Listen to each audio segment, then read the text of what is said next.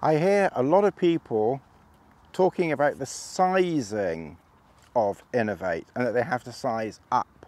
All of my Inov-8, every single one here is a European 43 or a UK size 9. So that's a UK size 9, size 9, 9, A9, and every single one fits me like a glove. And I've never had to concern myself with sizing up. I don't know whether other people, you know, have issues with sizing with, with Inov-8, but I've always find that 9 and 43, you know, UK 9, fits me, you know, perfectly. And my regular shoe size is a 9 or 43 too. I mean, the big toe is, it's close to the end, but it's not at the end. Now, I must admit, on the face of it, the 275 is a more comfortable fit around my toe than this one here but I think it's because I think this end here is just a little bit softer and that's just a little bit harder and rubbery.